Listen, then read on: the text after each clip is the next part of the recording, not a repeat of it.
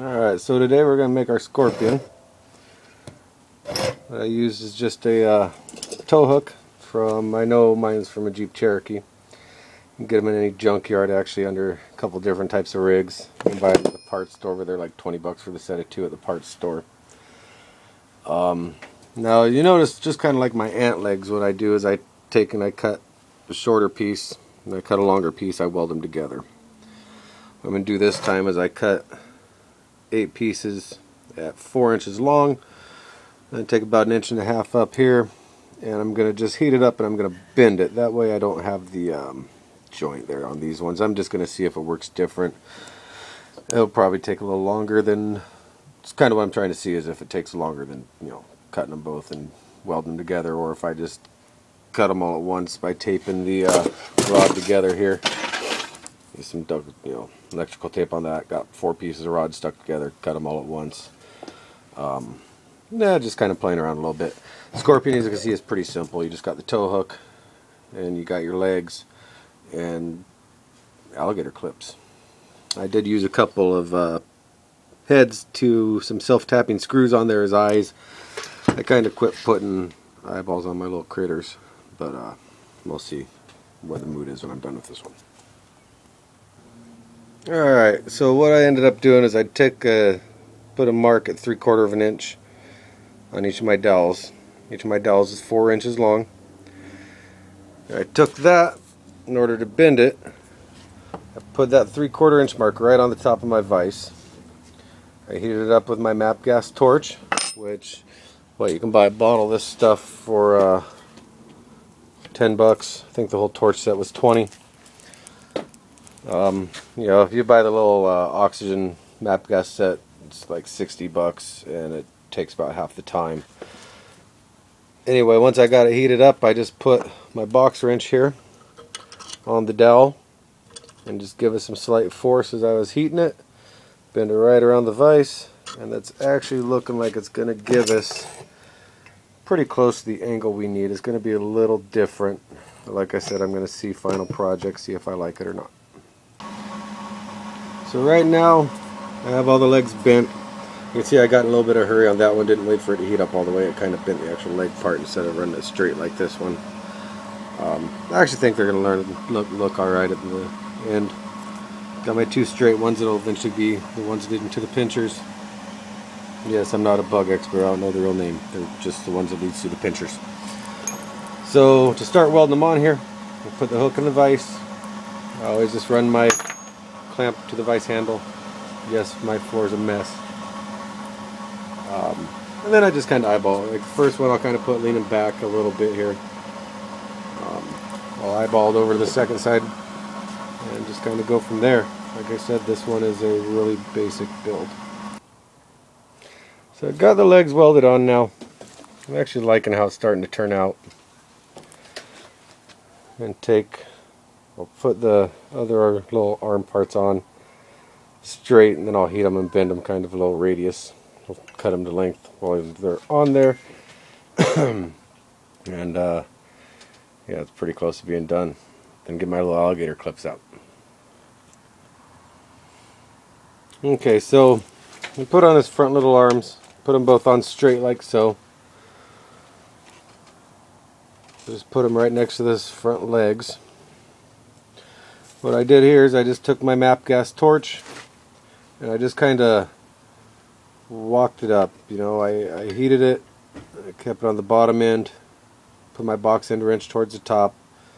If I got a little bit of bend there, I just kind of worked my way around a little more as I moved. That way I didn't just put a big 90 degree kink at the bottom until I got it where I wanted. Now I'll do the same thing on the other one, then I'll cut them so they're probably, you know, a little uh, more realistic length instead of sticking way out there. But um, you always get a little better look when you put them on there and then you bend them. Kind of get a better feel for what you're looking at. At least in my opinion, I guess. I just fumble through this shit anyway. So. I don't know. So I have his arms cut down. I'm getting ready to add the alligator clips to him. One thing the arms do and why I angle them upward is they do kind of help balance. This hook's pretty damn heavy towards the back end of him. So I, I, I just my thought is the arms and upwards a little bit, add a little extra balance. Now, first thing I'm going to do with this is I'm going to put it in the vise, open like that, and tack weld the hinge. See where the two pieces of metal meet? You want to turn your welder all the way down. I use my 110 welder and turn it as far down as I can and just barely tap it with that wire.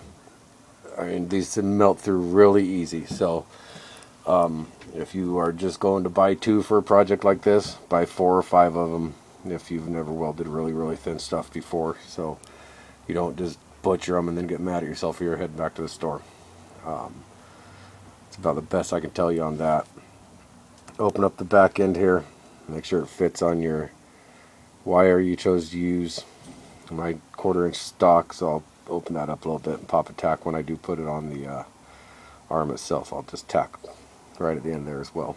So that's where we're at right now. We're almost done.